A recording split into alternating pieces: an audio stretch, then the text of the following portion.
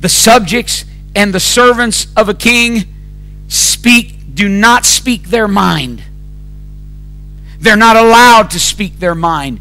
They're not allowed to give their opinions. I'm sorry, they're not.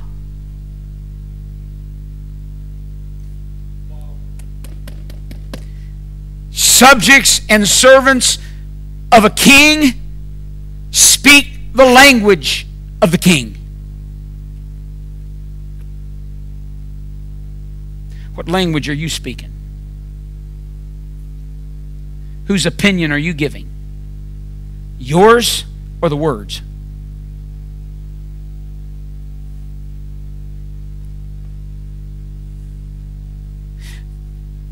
Wasn't it Paul that said, The weapons of our warfare are not carnal, but they are mighty through God pulling down of strongholds. You know why he could say that? Because he knew who was in dominion. Mighty through God to the pulling down of strongholds. Watch this now. Casting down imaginations and every high thing that exalted itself against what? The knowledge of God. You ready?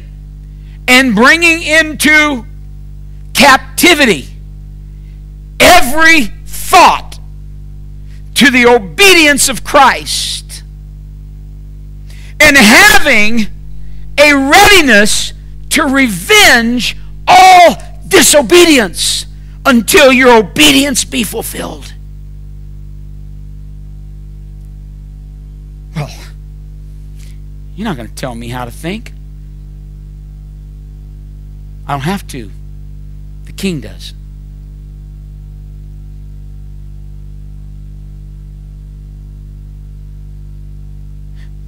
If you're in the kingdom, if he's your king, this book says, I don't have a right to just let my thoughts go anywhere. I've got to bring my thoughts into captivity. I got to bind them up. I, I, man, this, this, this free thinking stuff. Uh, look, I'm not talking about human control here. I'm, I'm talking about the king's word. See, where the king's word is, there's authority. And the king said to us, the king said to us, that I need to take my thoughts and I need to filter them through the word of God. And if they come against God's word in any way, I need to bring them into captivity until I bring myself into obedience. You'll never do that if you're not submitted to the king. The reason people can't submit to the man of God is because the problem is with God. You know, I told you my wife really helped me. You know what she helped me understand? I couldn't understand. I didn't understand. What I do to them? They were my friends.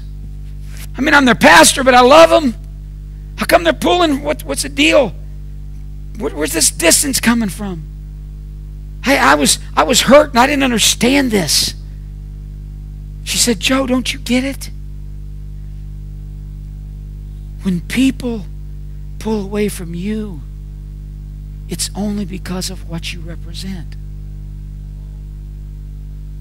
When they want to be distant from the pastor, it's because they want to be distant from God.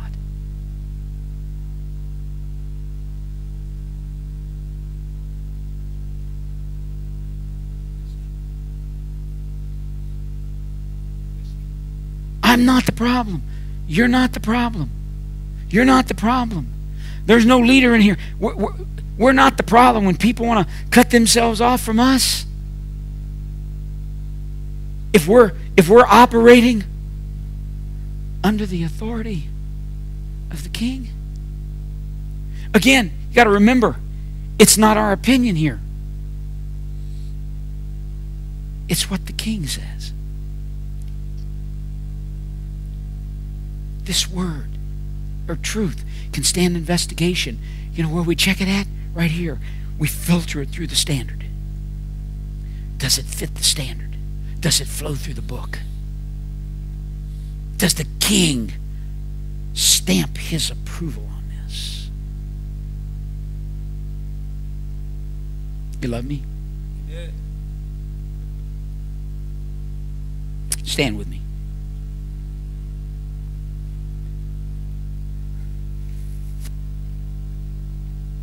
Let me say it again, and this is the last thing I will say, and I'm going to wrap it up. The holy word of God is not just ink on Indian paper, it's the word of the King, the one true God, the Lord Jesus Christ. God's word is never outdated and it's never not relevant. God's word is as eternal as God Himself and as current as tomorrow's news. The apostles understood how serious a violation it was to alter the word of the king. And that's where we're going to pick it up tomorrow. Can we lift our hands to the Lord? Can you honor him? In Jesus' name. In Jesus' name. Oh God. Help us, we pray, Lord. Help us, we pray, Lord. Help us, we pray, Jesus. Help us, we pray, Jesus.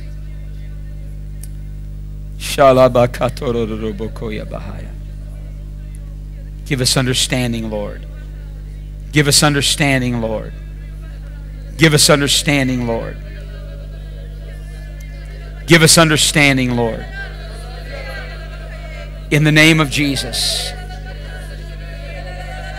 In the name of Jesus. In the name of Jesus. In the name of Jesus.